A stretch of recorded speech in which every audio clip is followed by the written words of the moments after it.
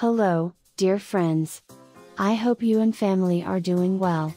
Let me welcome you to the exciting world of birds. Will you remember to subscribe, please? The coral-billed ground cuckoo, also known as Renauld's ground cuckoo, is a large terrestrial species of cuckoo in the family Cuculidae. It is found in Cambodia, Laos, Thailand, and Vietnam. Its natural habitat is tropical moist lowland forests.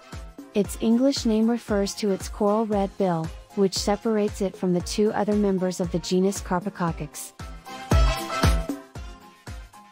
That was a cool journey. Thank you for your interest in wildlife. See you pretty soon. Take care and be safe.